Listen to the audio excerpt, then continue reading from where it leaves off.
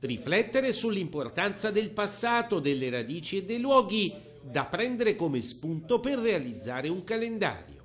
E l'iniziativa messa in atto a Villa Lago dove i bambini della scuola elementare hanno lavorato per molte settimane nella biblioteca comunale per realizzare il calendario 2016, fatto di disegni e storie che, riproducendo avvenimenti, luoghi e feste del posto, accompagnano i vari mesi.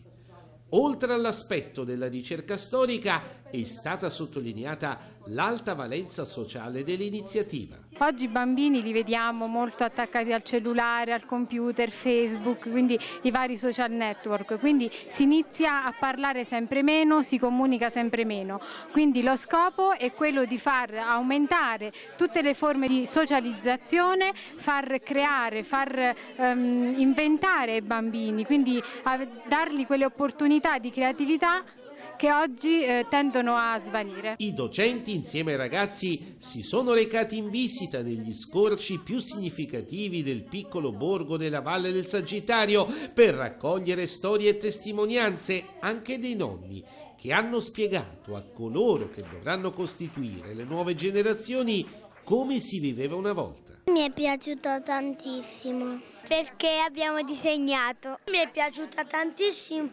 perché ho un nonno che sa disegnare benissimo e allora mi è venuta la voglia di imparare a disegnare. Ci hanno raccontato come era una volta a Villa Lago. È stata un'esperienza bellissima, soprattutto condividere l'emozione che i bambini, cioè più piccoli di noi hanno. A me mi è piaciuto tanto perché abbiamo fatto tanti disegni e il calendario e ci siamo divertiti. La lodevole iniziativa è stata presentata nell'aula consigliare del comune alla presenza di insegnanti e genitori degli alunni e del sindaco Fernando Gatta che si è dichiarato orgoglioso del lavoro intrapreso perché testimonia l'attaccamento alle proprie radici e l'amore verso la storia del paese.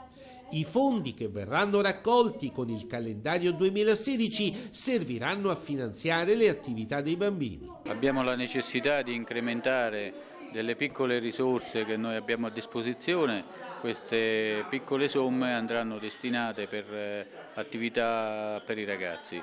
Abbiamo un campetto di gioco dove si eh, ritrovano durante il periodo estivo, dobbiamo migliorare qualche piccola struttura anche con dotare di un computer la biblioteca comunale, quindi diciamo tutto quello che verrà ricavato eh, compatibilmente anche con le nostre possibilità del comune eh, serviranno per finanziare delle iniziative destinate ai ragazzi.